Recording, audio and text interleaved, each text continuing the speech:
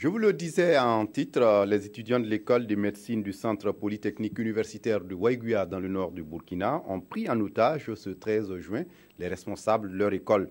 Les manifestants exigent la délibération des résultats de la session de rattrapage euh, de l'année académique 2014-2015 et l'ouverture des inscriptions pour l'année académique 2015-2016.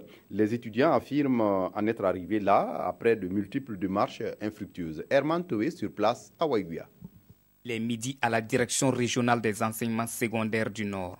Portail fermé et gardé à l'intérieur du bâtiment. Des étudiants face à leur chargé de mission et quelques membres de l'administration.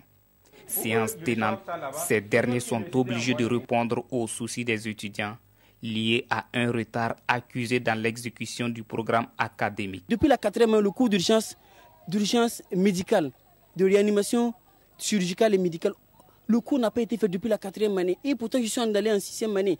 Les deuxièmes années n'ont pas fait de sémio médical. Les troisièmes années n'ont pas fait de sémio médical ni de sémio chirurgical. Les cours de biophysique n'ont pas été faits depuis deux années. Les cours de neuroanatomie n'ont pas été faits. De quel genre de médecin vous voulez former? Des interrogations bien fondées selon le premier responsable de l'établissement qui ne demande que plus de compréhension et de patience. C'est vrai qu'ils ont raison. Hein.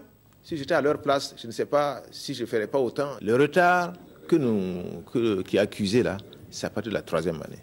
Troisième année, quatrième année et cinquième année. Il faut dire que c'est dû, pour ma part, principalement à quoi?